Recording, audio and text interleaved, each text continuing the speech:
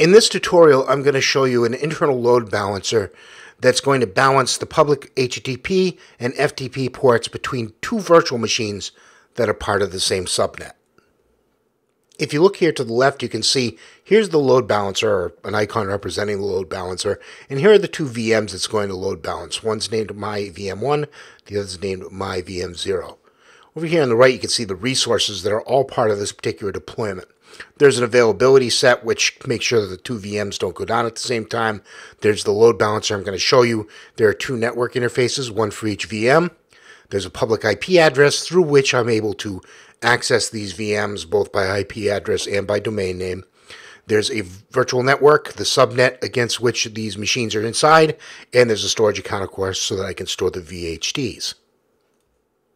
If I come over here and click on the icon for the load balancer, I can see on the left hand side its properties and settings. And I want to focus on a few things the front end IP pool, the back end pools, health probes, load balancing rules, and inbound NAT rules. These are the things we're going to be focusing on during this demo.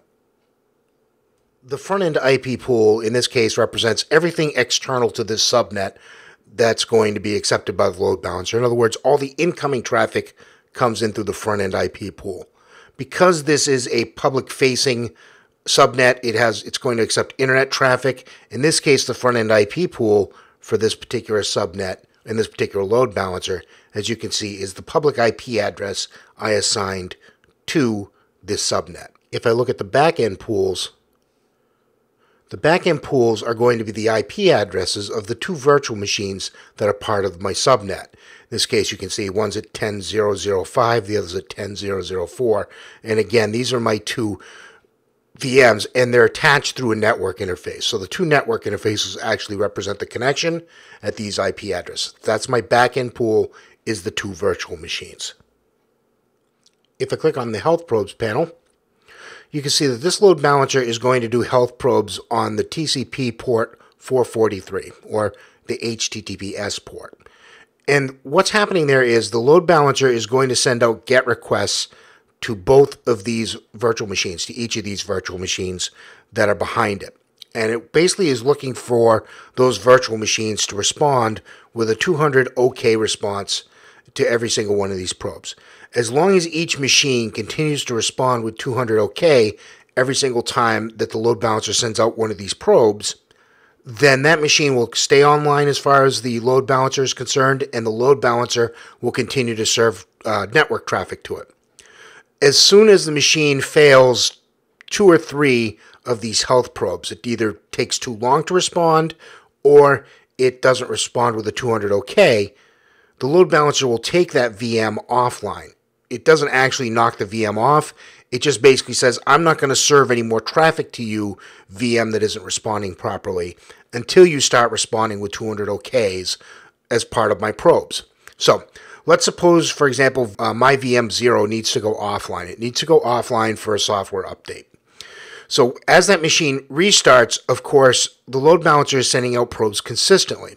And as that machine is restarting, at some point it will stop responding to these probes.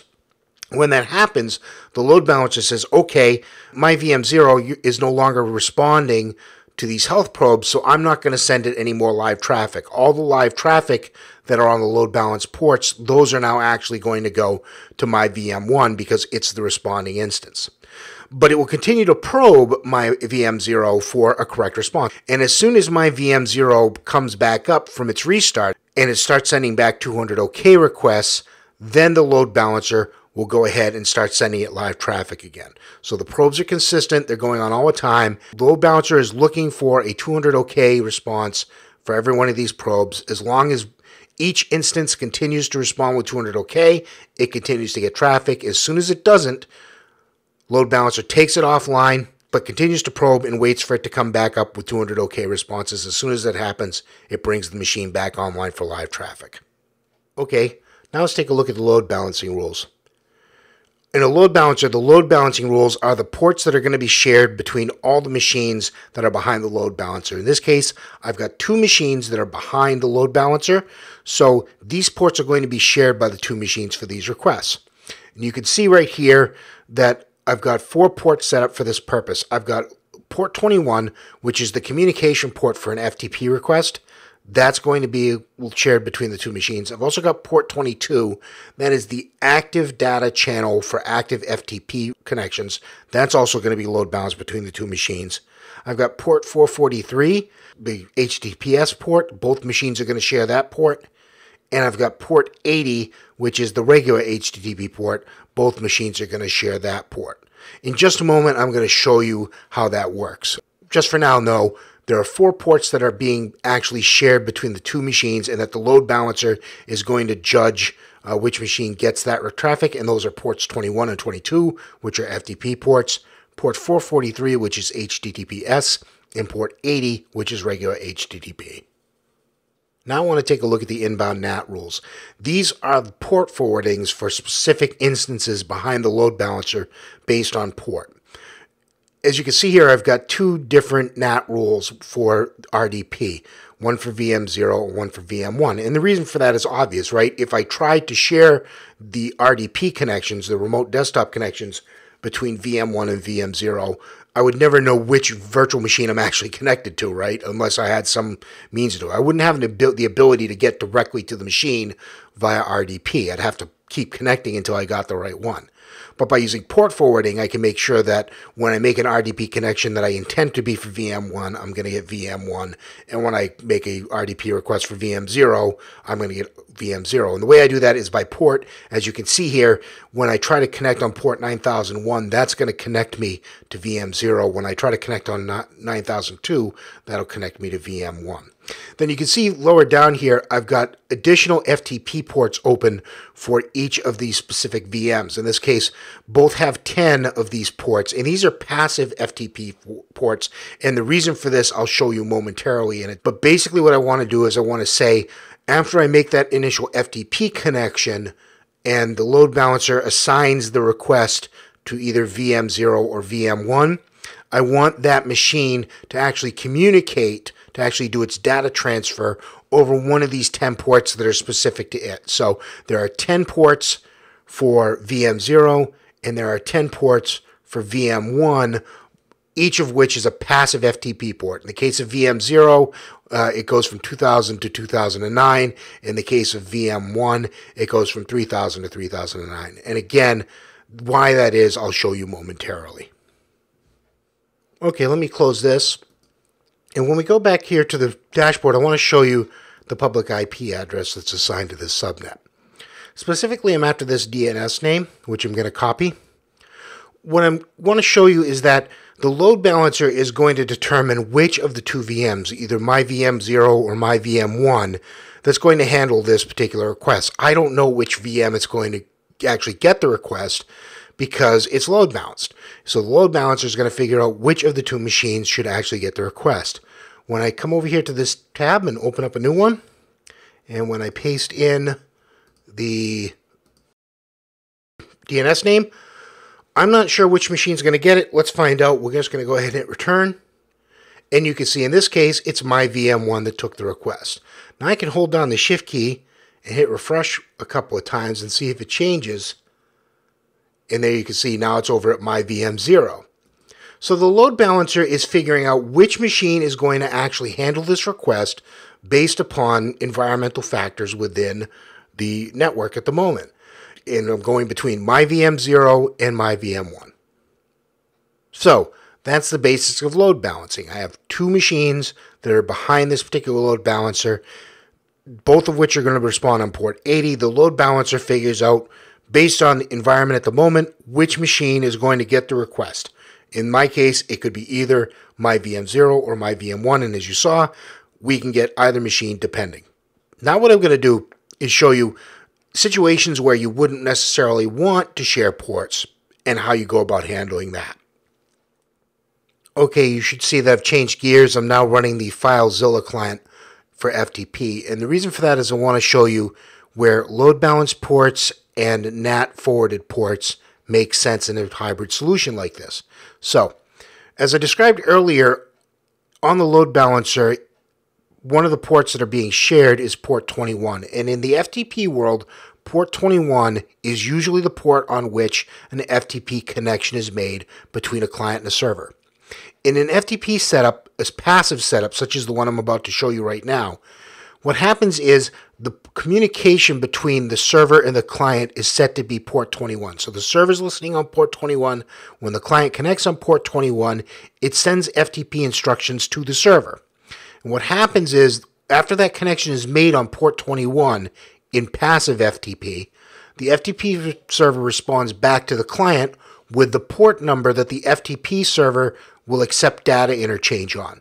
So in this case, ports 2000 through 2009 are assigned to VM0 and ports 3000 to 3009 are assigned in VM1 as the passive FTP data ports. So when a client makes a connection to VM0, it's going to transmit data to that virtual machine on either port 2000, 2001, 2002, so on and so forth to 2009. And if it connects to VM1, it's going to actually transmit data on port 3000 or 3001 or 3002, etc., etc., up to 3009. So, how does that work with our load balanced virtual machines? Well, because port 21 is load balanced between VM0 and VM1, I'm not sure when the client connects to my domain name which virtual machine is actually going to receive that traffic. The load balancer is going to pick to send that traffic either to VM1 or to VM0. But once I actually connect to that VM through the load balance port, the VM's FTP software is going to instruct the client what port it should use to actually send the data. And that port is specific to the VM. So, taking it from the top, when the client first makes a request to my domain name, the load balancer is going to receive that traffic on port 21. And it's going to choose to send that traffic either to VM1 or VM0, depending on the environment at the moment. Whichever one of those two virtual machines actually receives that request on port 21, that machine is then going to instruct the client, FileZilla, which port it should use to actually send data back. And whatever port it tells FileZilla to use, that port is going to be specific to that virtual machine. So I was able to load balance the inbound request. The actual connection was load balanced. But the virtual machine itself that received that request is the one that's actually going to get the file. And that's going to allow me to avoid cross contaminating my requests. So, for example, if the request was actually if the connection request was actually fielded by VM0, there's no way that VM1 is going to accidentally insert itself in the middle of this because its passive FTP ports are specific to the virtual machine and are not load balanced. I'm going to show you what that looks like right now. Here in my local directory in my documents folder, I have this simple test file named testfile.txt. And up here in the host name, you can see I've got chosen the DNS name for the load balancer and the public IP that I'm going to connect to. So I'm going to go ahead and hit the quick connect button. And over here on the right hand side, when the server actually loads, I'm going to see a text file that tells me the name of the VM that I actually connected to.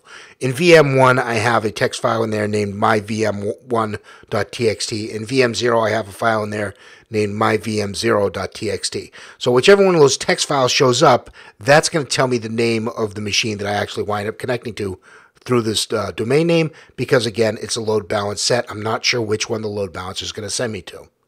Let's hit Quick Connect. And you can see I wound up on my VM0. Now, my VM0 has communicated back to me to this program which port it should use to actually send the data traffic. And so that's going to be, because it's v, my VM0, that's going to be somewhere between port 2000 and port 2009. That doesn't really matter to me. All I need to know is that FileZilla now knows which port it should use to send the file, and that port is going to be specific to my VM0.